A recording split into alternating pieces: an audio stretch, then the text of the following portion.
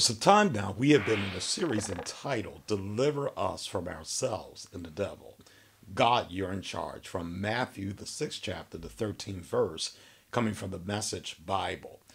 And the reason why we're so on, the reason why we've been on this path, because dealing with people, talking to people over a period of time, you realize that people deal with a number of things in their own personal lives. And as they deal with those things in their lives, some people are more apt and prone to deal with them head on. Some of them are actually sitting in denial. Some refuse to deal with some of those things that are deep on the inside of their hearts that's causing them pain, misery, and strife, and a number of other things that go along with that. But the real issue is is that God wishes for us to be free, completely free. The Bible says that Jesus has come to set the captive at liberty.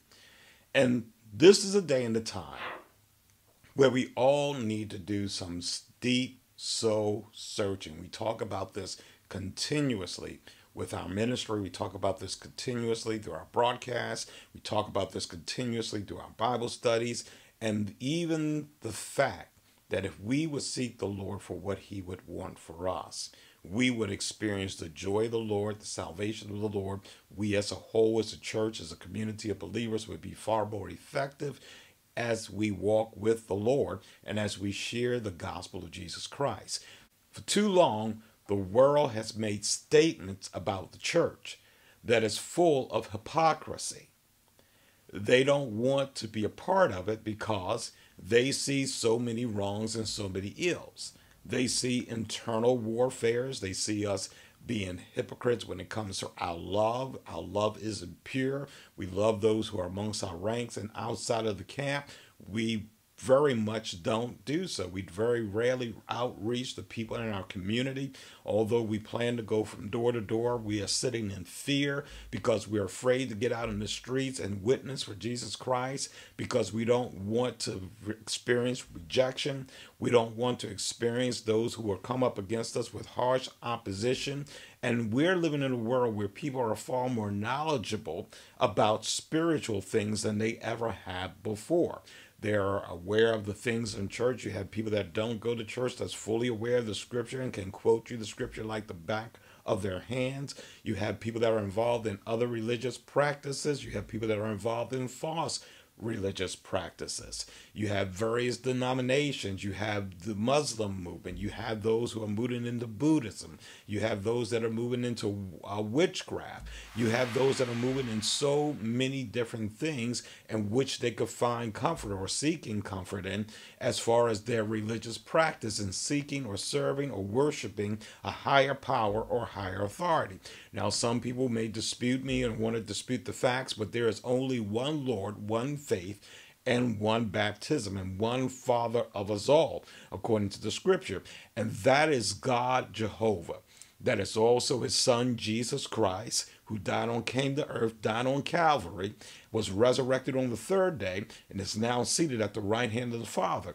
And the fact that he sent back the Holy Spirit, the comforter that he promised to the believers, that would empower us to be delivered from ourselves from our fears, from our apprehensions, from our sins, from our negativity, from those things that divide us. All those things are comprised within the Godhead, the freedom that it should be experienced in the Lord.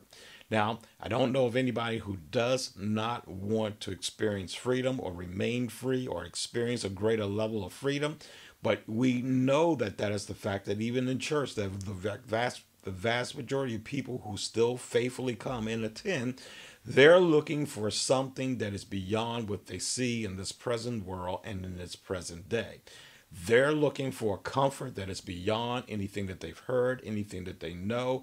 They want to be so free that they can walk in freedom, in liberty, and in the joy of the Lord and experience all that the Lord has for them. So, what does it mean, Lord, deliver me from myself? and from the devil. You're in charge. We pretty much have spelled it out over over a series throughout the course of this, but we want to revisit it to get a, we want to revisit it again today because we still see that there are people struggling being set free. So let's deal with the core of it. We know that we've gone through some traumatic experiences in life. Some of us have gone through rape, some of us have gone through molestations, some of us have gone through physical assaults, some of us have been rejected. Some of us have gone through relationships where a spouse has left us and rather harshly, where they committed adultery on us. Some of us have been in relationships where we have committed adultery. Some of us have been in friendships where our friends have actually turned their backs on us or even betrayed us. We've gone through things where People have talked about us we, and, and drug our names through the mud. We've gone through situations where uh, co-workers and the things of that nature have done things where taken ideas and taken advantage of us and, and pulled those things together as though it were their own and packaged it and received accolades and even promotions as a result of it. And some of us have felt slighted as a result of it. So now we're walking in anger, we're walking in bitterness, we're walking in fear, we're walking in distrust. And the Bible tells us to trust in the Lord with all of our hearts, with all of our souls, and with all of our mights.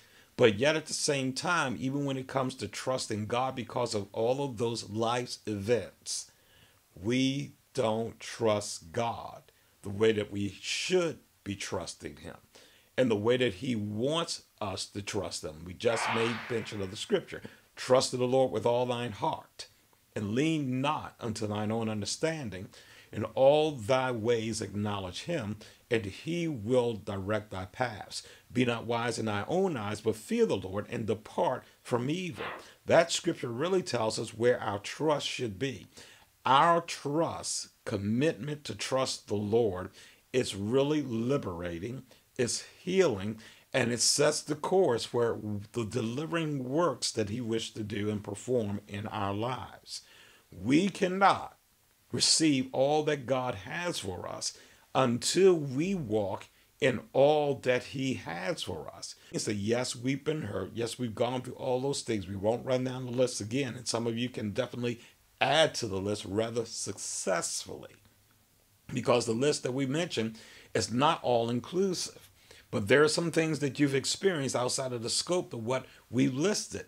And all those things, we have to be willing to ask the Lord to deliver us from those things. As painful as they are, as it is your right to be angry, the Bible said to be angry and sin not. It is your right to hold on to your anger. It is your right to hold on to your pain. It is your right to hold on to your disappointment. It's your right to hold on to your fears and your apprehensions. It's your right to hold on to the thought process that got you into this predicament in the first place. And it's rightful your right to think of those persons the way that you do. Let me share this with you.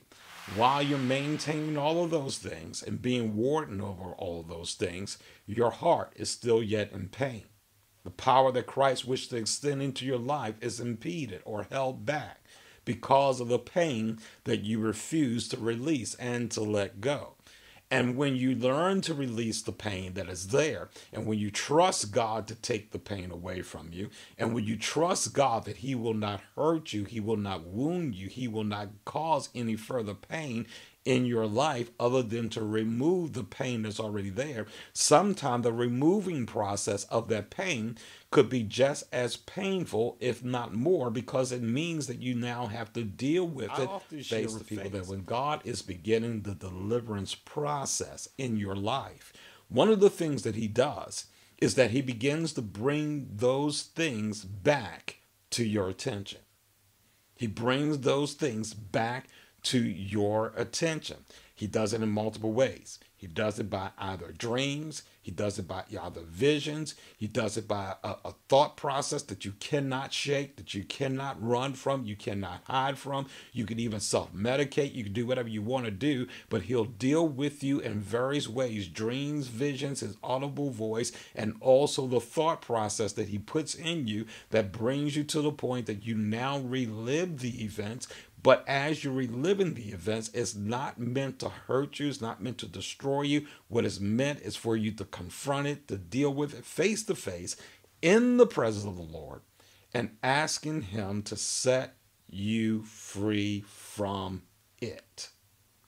The whole purpose is that God does have your best interests in mind. We can only get things out of us and ask the Lord to deliver us from those things as those things are brought to our attention.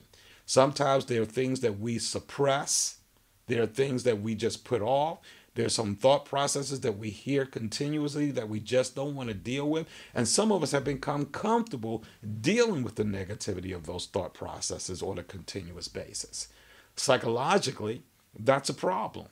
That means that you're reliving the events every single time, but yet you're dealing with it from the standpoint of being a victim. God wants you to change the V word that you use. He doesn't want you to be a victim. He wants you to be the victor.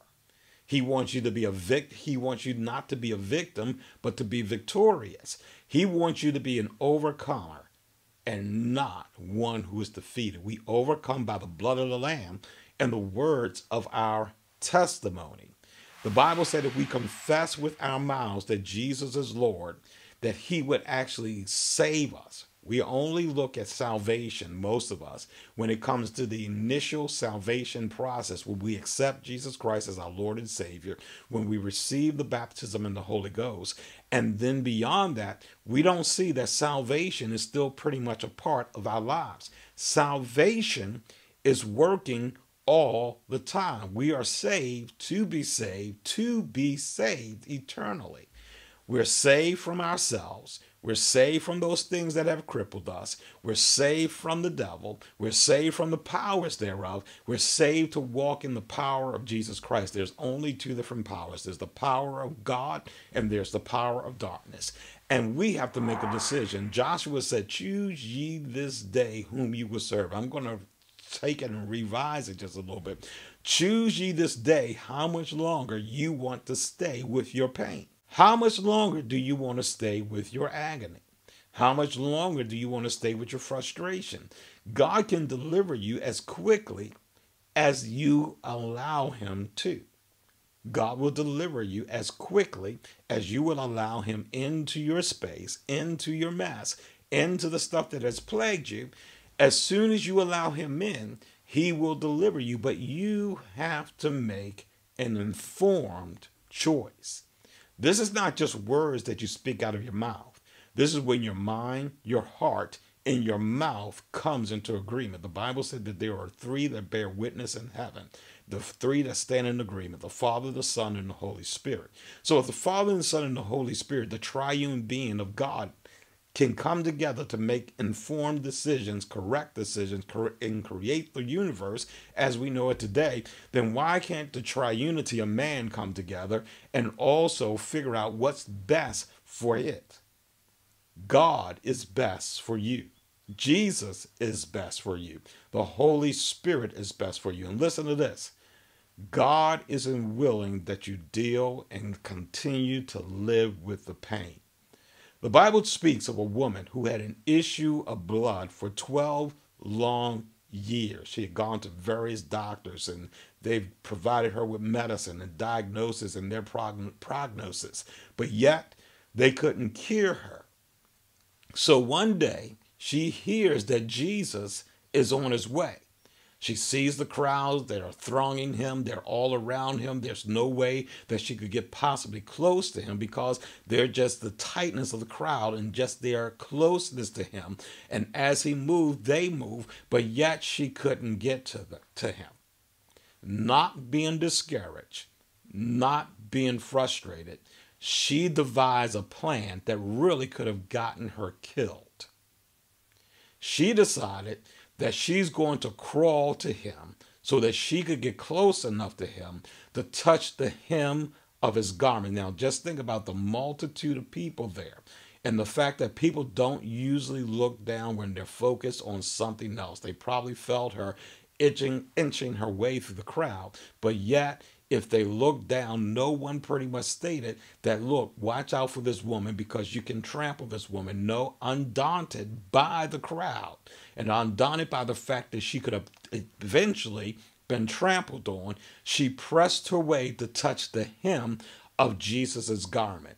And therefore, Jesus felt virtue leaving his body, And she was healed that self same moment to the point he asked, Who touched me? Because he knew that virtue had gone from, from his body. In desperation, the woman, after 12 long years of suffering, mentally, emotionally, and physically, made a decision that she's going to press her way, even though it would imperil her life to danger. She still would take the chance to seek Jesus out in a way that she had never heard before. Listen, how many of you are so desperate in this moment? So desperate in this time that you really need a touch from the Lord. You need a touch from Him in such a desperate way that even if it meant you or cost you everything, you will take the chance and the opportunity to go after the Lord with all your heart, with all your mind, in a way that you have never heard before, in a way that you've never heard someone seek in the Lord before. But in your time of desperation, because that's where God wants you to be, in a mode of desperation to want to be set free. Say that again in a mode of desperation where you really want to be set free. You no longer want to hold on to the pain. You want to be delivered from everything that has plagued you. You want to be delivered from you. You want to be delivered from people so that you can walk and experience the joy of the Lord 100%. That's the place where God truly wishes for you to be. And when we get to that place in Him, then everything else around us becomes exactly what God wishes for us to achieve true healing, true deliverance, true freedom. And listen to this the Bible says this that the joy of the Lord is our strength. When God sets you completely free, He floods your soul with joy, joy unspeakable and full of glory. That joy is so, so bubbling, so enlightening, so thrilling, so motivating. This is spiritual adrenaline running through your spiritual veins and through your natural body and through your mind to the very point that it helps to keep you free from anything else that will further come. And it's so motivating and so liberating that you look at your life as a full picture and you find out what else is it that I need to be delivered from? Sometimes it's objects. Sometimes it's further thought processes. Sometimes it's further pain. Sometimes it's people. Sometimes it's an establishment. Sometimes it may even be the church that you're a part of that's not driving and motivating your growth and your development to the very point that you've outgrown it. And now, in order to continue in your process, you have to move to the place where God is leading you to go to and becoming that which God would have you to become. No longer remaining stagnant, no longer frustrated, but walking in the liberty and being free in the liberty wherewith Christ has made you free. And the Bible says this, and be no longer entangled with the yoke of bondage. He wants you to be free, so free that you're never coupled with that bondage again in your life. That bondage is no, now in the, that bondage is now under the blood of Jesus Christ. You've been set completely free from that bondage, and that yoke has been broken off of your neck and off of your shoulders and off of your back. This is where Lucifer now power is trampled over. The Bible said that he will bruise the heel of the seed of the woman, but the seed of the woman will crush his head. This is where Jesus wants you to crush the devil and put him to an open shame. This is where you resist the devil in your spirit by being set free from all those things that were previously there. Now you have fortification. Now you're built up. Now you're encouraged. Now you're motivated. Now you're empowered to actually resist the devil at all costs, and he will flee from you. Understand that you are earnestly contending for the faith right now. When you are earnestly contending for the faith, you fight with everything that God gives you to resist the devil, his imps, and everything that he has put there. Listen, the seed that was planted there by the devil is not a holy seed. The holy seed of the Lord is the Holy Ghost. When the Holy Ghost comes into your life, listen to his leading, listen to his guiding, listen to his prompting, because he will lead and guide you into all manner of truth. And the truth for this moment and the truth for this hour is Matthew 6 and 13. God deliver us from ourselves and from the devil. You're in charge.